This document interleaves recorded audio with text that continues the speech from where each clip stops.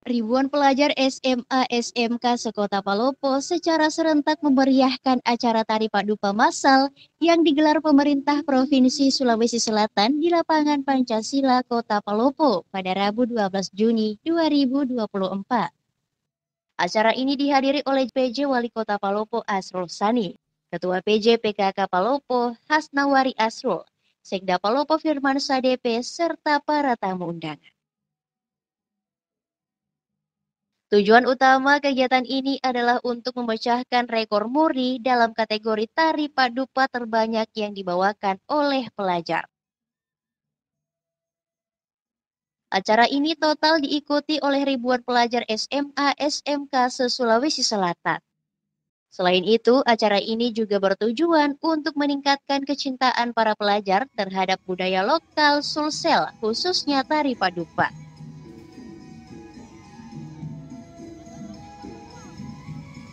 Ridwan Syam selaku Kepala Cabang Pendidikan Wilayah 11 Lubu Palopo mengungkapkan bahwa kegiatan ini merupakan langkah strategis untuk menambah nilai-nilai budaya lokal kepada para pelajar.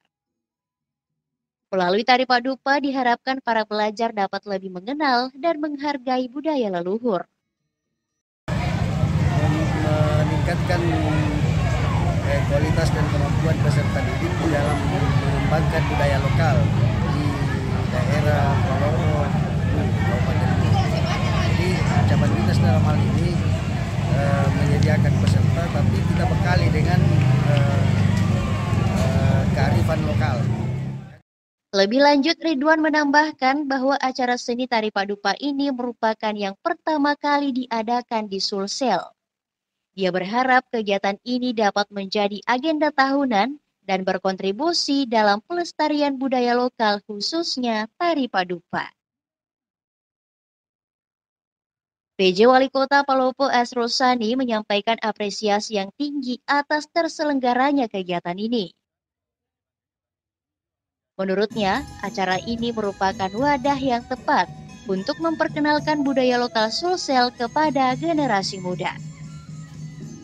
Melalui kegiatan ini, para pelajar dapat mempelajari makna dan nilai-nilai yang terkandung dalam tari padupa. Gerakan sosial menari untuk di Palopo itu pesertanya ada seribu terdiri dari eh, siswa SMA, SMK.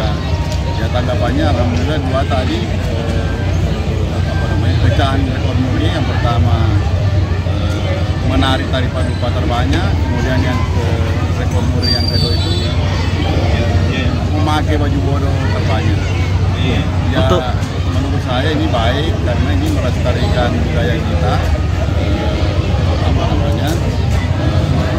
Eh, insya Allah kita akan teruskan kegiatan-kegiatan ini. Ini juga menjadi kegiatan ekstrakurikuler atau kegiatan SMA. Asrul berharap agar kegiatan seni tari padupa ini dapat terus dilestarikan dan menjadi bagian dari identitas budaya Sulsel. Alfian Talha mengabarkan dari kota Palopo, Provinsi Sulawesi Selatan.